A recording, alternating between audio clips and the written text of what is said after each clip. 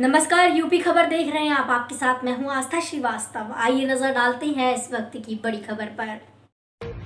बरेली थाना नवाबगंज से आपको बताते चले, खबर थाना नवाबगंज के गाँव मेलक पछौड़ा से है। आपको बता दें कि मोहम्मद शरीफ ने अपने पुत्र अकरम की शादी 24 मार्च 2019 को नाजमा पुत्री अशफाक अहमद निवासी ग्राम सिरौल चौकी थाना पुलभट्टा जिला उधम सिंह नगर, उत्तराखंड से की थी। मोहम्मद शरीफ ने आरोप लगाते हुए कहा कि शादी के बाद से उनके पुत्र का साड़ू जाकिर हुसैन पुत्र बुद्धि निवासी ग्राम बरा थाना जलालाबाद जिला पीलीभीत अक्सर पुत्र वधु को मायके में रुकवा देता है। इस बाबत कई बार पंचायत हुई। मेरे पुत्र की शादी के बाद मेरी जानकारी में आया कि जाकिर से मेरी पुत्र वधु के उसकी शादी से पूर्व से ही संबंध थे। इस बीच मेरी पुत्र वधु ने एक पुत्री जोया जो जन्म दिया इस समय नौ माह की है।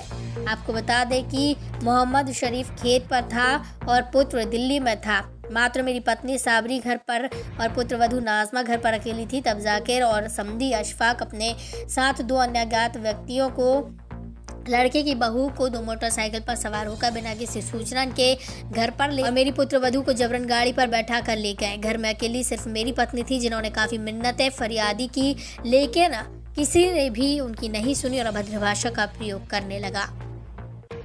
समस्या ये है कि हमारी बहू को वो उठा के ले गए हैं।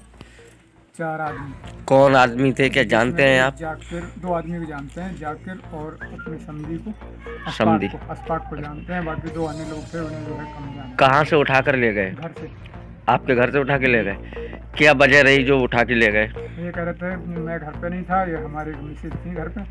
उनसे कह रहे थे हम शादी है हमारे हम लेके जाएँगे। तो इन्होंने कहा कल आ जाएगा लड़का हमारा लेके। अच्छा। आपका आपका लड़का कहाँ रहता है? दिल्ली। अभी वो घर पे नहीं थे जब वो ले गए थे। तो से। कितने लोग ले गए थे? चार आदमी थे। चार आदमी थे। आपने रोने का रोकने का प्रयास नहीं किया?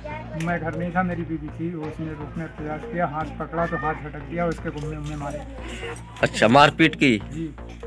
आपने कहीं अच्छा आपने कहीं थाना वगैरह में शिकायत की? है की। कहाँ शिकायत की? कौन सा थाना।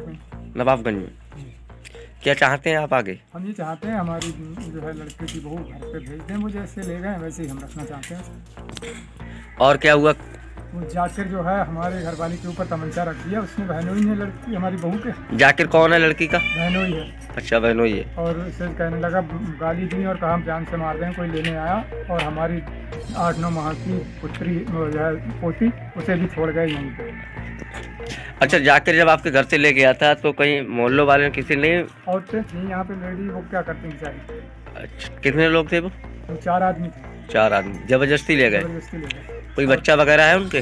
बच्चा ये है लड़की वो जहाँ छोड़ गई है यहीं पे। कितने वर्ष की है महीने की? ऐसे आठ नौ महीने की है। अच्छा। बैग भर के वो जो है उसमें हमारे जेवर हैं पच्चीस हज़ार रुपये हैं। अच्छा आपके घर से? फ़ोन वगैरह आया तब से आपके यहाँ कोई? हमारे पास फ़ोन नहीं आया।